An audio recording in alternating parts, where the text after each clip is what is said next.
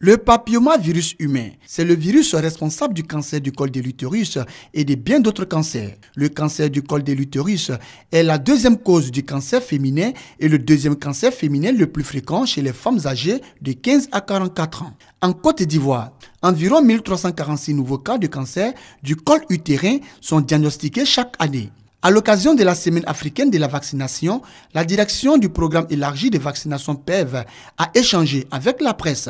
Objectif, discuter de l'importance des programmes de vaccination et attirer l'attention des populations sur les dangers du virus du col de l'utérus. Dans le cas du cancer du col de l'utérus, lorsque la maladie est découverte tôt, cette maladie est curable. Malheureusement, dans 70% des cas, les diagnostics se font de façon tardive. D'où l'idée de sensibiliser, d'informer le public, d'informer la population sur la nécessité euh, de se faire dépister et surtout de vacciner des filles entre l'âge de 9 à 13 ans.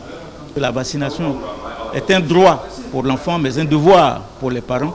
Et nous devrons nous y soumettre, faire en sorte que tous les enfants qui naissent, de même que la femme enceinte, avant d'accoucher, ait déjà fait au moins deux doses de vaccin contre le tétanos pour que l'enfant à la naissance soit protégé. Selon la direction du programme élargi de vaccination PEV, la vaccination protège contre 30 maladies infectieuses, mais aussi sauve la vie d'environ 3 millions de personnes dans le monde chaque année. Le PEV entend donc s'appuyer sur la presse pour promouvoir l'utilisation des vaccins, cela en vue de protéger les populations contre les maladies.